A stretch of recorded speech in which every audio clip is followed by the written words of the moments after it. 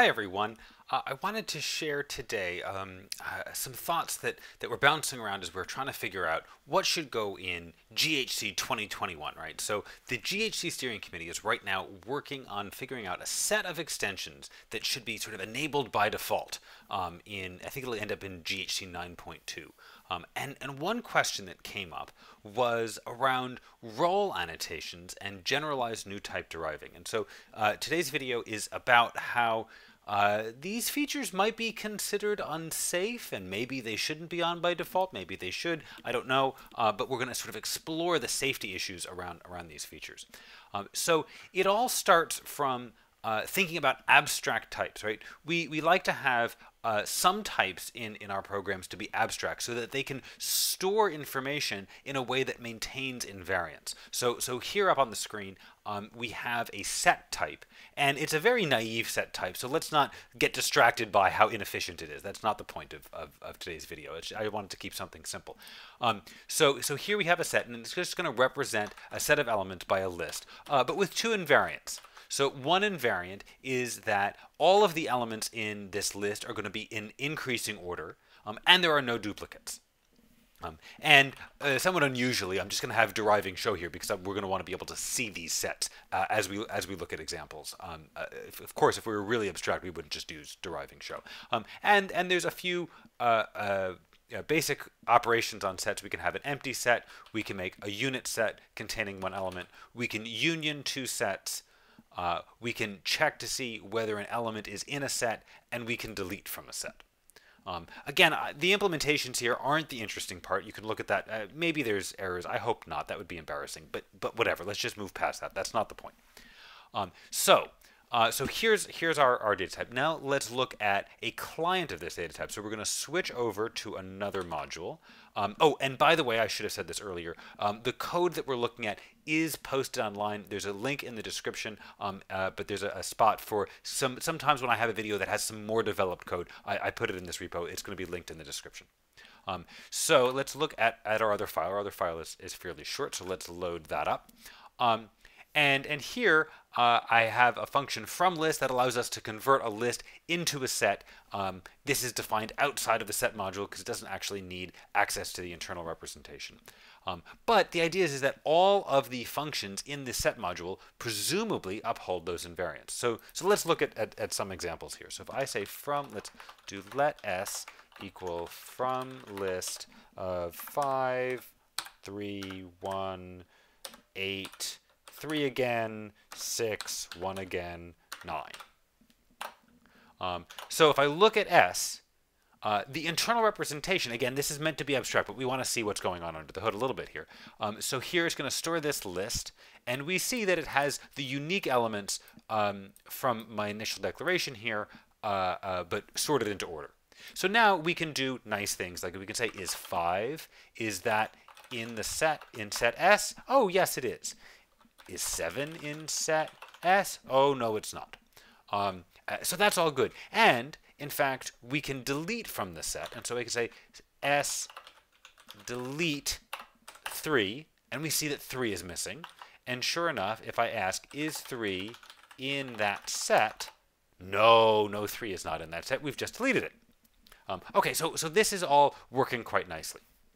Um, but now, uh, let's look at this definition uh, down here. So here I have a, a type parity, um, which stores an integer, but when we do equality and or and, and, and ORed comparisons, we only care whether the integer is even or odd. Um, so really, this parity type uh, we can think of it only has really two elements, but maybe we want to store some extra information somehow. Uh, so the key thing here is that we have a type that is representationally equal to integer. That's what new type means, right? That parity at runtime is just going to be an integer, no extra gubbins at runtime. Um, but yet we can change the way it behaves under some class-based operations. So here the eq instance and the ord instance for parity is different than that for integer, and that's and that's really the key bit. Um, so if I create a, a, list of parities here, um, so now I can say let sp equal from list of P1 and P4 and P5 and P2 and P1 again and P8, right? P here is the is the constructor for parity if you look up. Um, and if I build this, that's fine, and I can ask what's in SP. Well, it just has P1 and P8. Why 8 and not 4 or 2? I don't know. It doesn't really matter in the end um, uh, because the idea is, is that these 4 and 2 and 8 are all equal with respect to the eq instance. So the algorithm that builds the set, it, it happens to choose 1 and 8. Uh, that's fine. Um, and, and then, you know, all of these operations are going to work. The problem is, is that here, when I said that parity is a new type wrapping integer, that means that parity and integer have the same runtime representation. So modern Haskell has a feature called coerce, which allows us to, for, to, to, to make a conversion between representationally equal types for free. So what I can actually do is I can say let sp2 equals coerce of s. Um, but I have to put a type annotation there. This is going to be a set of parity. And, and all that does is that does no action at all at runtime. It just does a little type change. So now if I look at SP2, oh, now we're in trouble. Because all it did is it took S um, and it wrapped each element in, in the list contained within S uh, with the P constructor. And this is problematic because now my SP2, it violates the invariants on the set type. And we can, we can see this violation by, by playing around with it. So in particular, if I say, um, if I ask the question, is 5 in the set SP2 delete 5, surely the answer should be no. But it'll be true here, right? Because if I look at SP2 delete P5, then um, it will delete the first thing that is equal to 5, which is 1.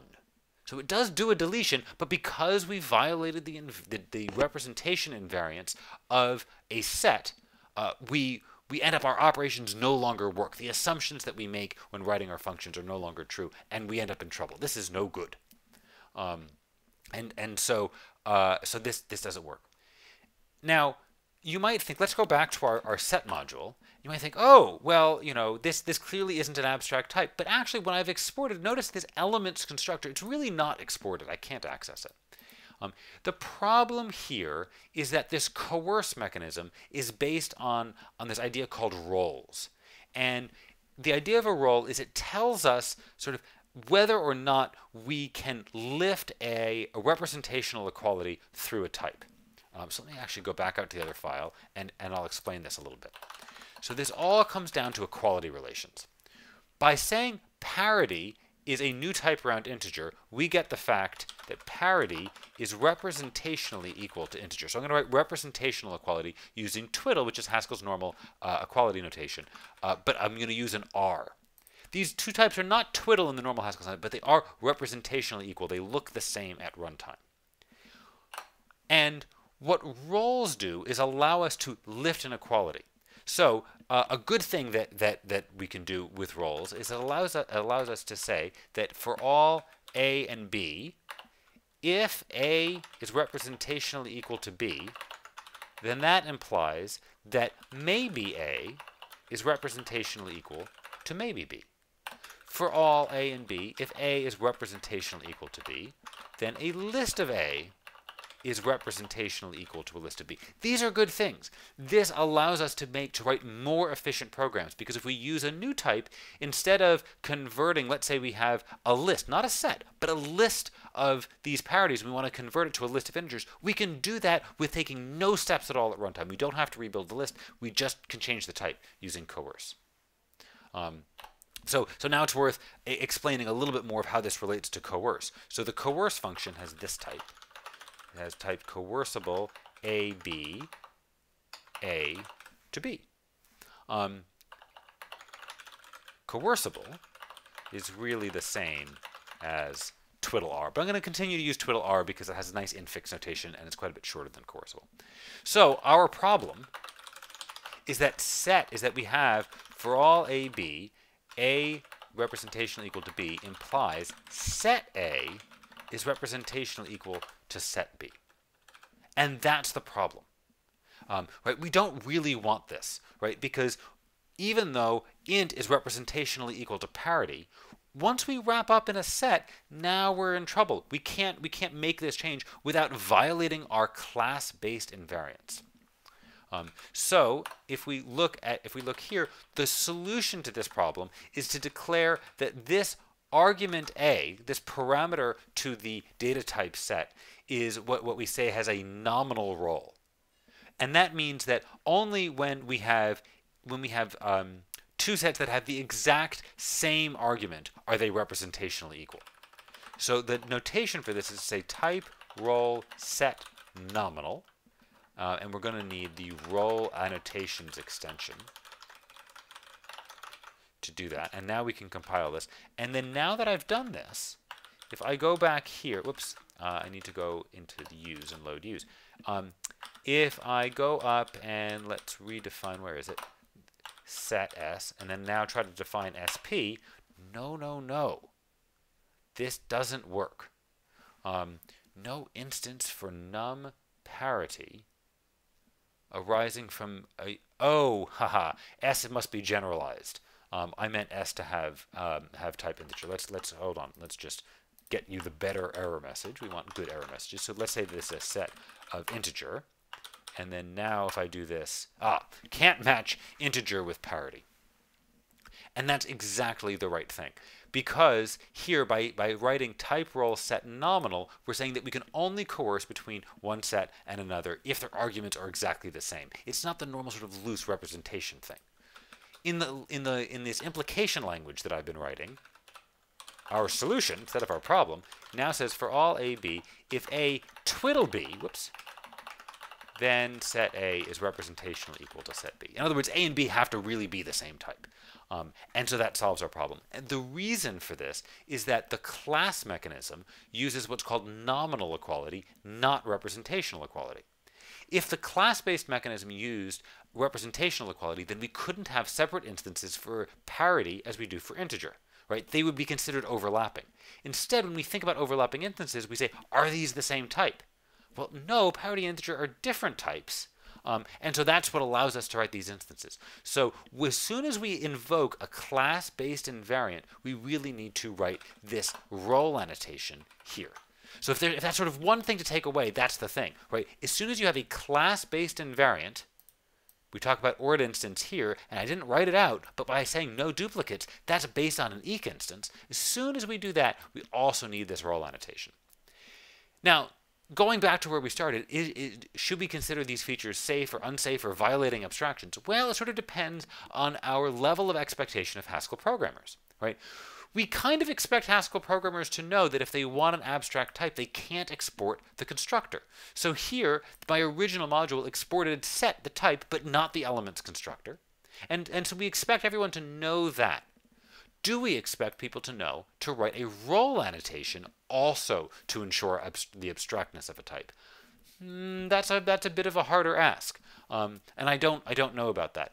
But I do know that if we if we want if we are choosing these defaults, these default extensions to be allowed, if we're going to say that generalized new type deriving, which is built on top of coerce, if we're going to say that coerce is safe, then we should probably include role annotations. But is role annotations too advanced? I don't know. It's a good question. I don't have a good answer there. Um, but anyway, I hope that this has been enlightening. Thanks very much for watching. Bye.